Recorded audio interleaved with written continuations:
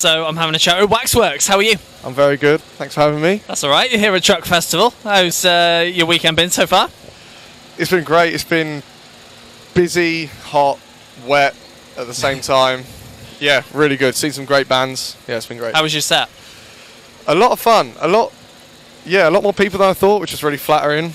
A lot more people were loving it and singing along, getting involved. Yeah, it was, it was amazing. Yeah. Good. And they must have enjoyed your uh, debut EP then. That's why they come and see you. Yeah, I, I guess. Hopefully, I mean, yeah, a lot of the newer songs people knew words to as well, which is mad because I don't know. I, I, it never gets old when I see Yeah. people miming along and just I'm just like sick. Uh, yeah. Thank you so much. Yeah. Why not? Yeah. So t- so tell us a bit about the EP you released earlier this year. Yeah. So the first single, "Why So Sad," came out in January. That was kind of a. I remember I was in the studio with Nick, my good buddy, ex Kaiser Chiefs Nick, and I just wanted a song that was like about kind of. Is this the right word? Introspective of myself. I think that might be a, that might be too long for me, but I don't know if that's the right word. but um, so it's like looking at myself, thinking you got so much more to be grateful for. So that was kind of the story behind that one. And then yeah, it was a single, a couple months at a time, and then it came out May twentieth, I think. That might be wrong. Sounds right to me. Around there. Sounds right to me. Friday in May. and yeah, it's been great. Yeah, ever since uh, the reception's been sweet. Actually, yeah, I'm really happy with it. Good, good. And you must have been wri- writing a hell of a lot, kind of during the pandemic and everything, considering we were we were all at home. How much music have you kind of got to work with going forward?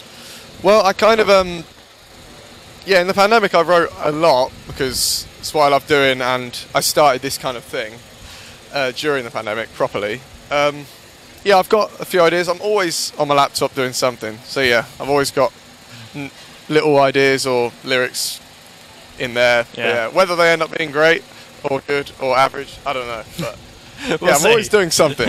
Good. Um, and you're obviously here at Truck Festival this weekend. You've got more to come, more festivals, more shows. Where can people see you after this weekend? So, oh, I'm terrible at plugging. uh, Y Not next week? Saturday, again, I think at about one, half one. You'll have to double check. Uh, we're also playing uh, 110 Above in Leicestershire uh, on the Friday and Boardmasters, which will be sweet, on the Sunday. Sunday, the 14th of August, I think. So, yeah. Good, good. Busy times ahead then, and Very busy and obviously you'll yeah. want to be doing touring as well, coming towards the end of this year. Where, Yeah. where are we at with dates for, for later Uh, this year? I Haven't got any uh, confirmed yet, but some things are in the inner talks, in the works. So Uh-huh. yeah, I'm sure I'll be gigging someplace. Do you think you'll be doing some headline stuff, or or is it going to be looking support as well? I want to do a some kind of like headline lead show, possibly early next year or the end of this year. So yeah, just keep looking out my socials Yeah. at Waxworks Noise. Yeah, for that. Nice. That, that wasn't bad. Got to do it. Yeah. Um, and looking towards next year as well, what are you hoping next year's going to be? Do you think it's going to be writing, releasing that side of things, or touring, or a bit of everything?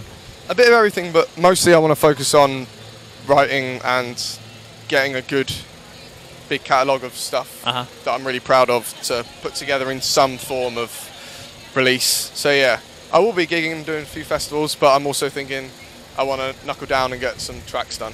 Yeah, great stuff. And uh, being a, a, a new artist into the into the music scene now, what what was it that made you go from I enjoy writing music to I'm going to do this properly?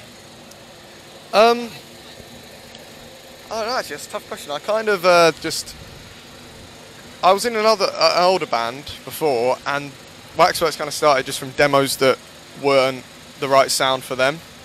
So I had a load of them on, com- on my computer, and I just decided I'll put them on SoundCloud. Then I gradually built up the courage to put them on Spotify, and then yeah, people took notice a little bit, I guess, Yeah. and liked the songs, and that's kind of it, really. yeah.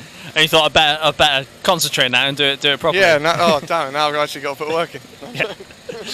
But it's paying off. It's paying off so far. So far, thankfully, yeah. And you must have a bucket list of things that you want to want to achieve. So if you had to pick one thing that you absolutely have to achieve, what what would that one thing be? Uh, 100%.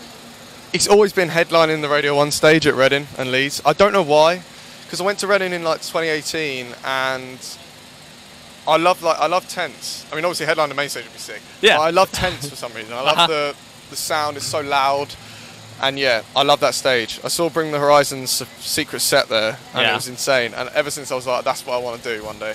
But yeah, Nice. Excellent. Well, Adam, it's been a pleasure Thank having so a chat with you. great to have a chat with you. Thanks too. very much. Yeah, Cheers. No worries.